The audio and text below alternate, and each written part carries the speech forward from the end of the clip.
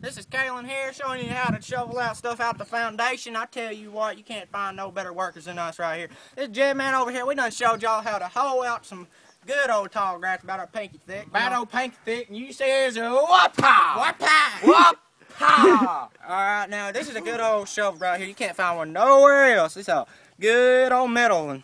Alright, so I'm gonna tell you how you gotta get right down here, you know what I'm saying, and then you gotta go. You gotta grunt now, you gotta grunt. Alright, now here we go. Alright, now here you go. You, you see that big old shovel full right there, that foundation mess? You gotta get over here. You gotta grunt now when you throw it. He throws it right over yonder in the sand pile, and that's how you get that stuff out of here.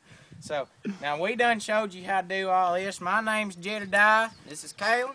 and we thank our cameraman for his wonderful photography. His name's Trevor. He's a little bit Amish. We feel sorry for him. Don't make fun of him. Don't make fun of him. He's a good one. Thank you.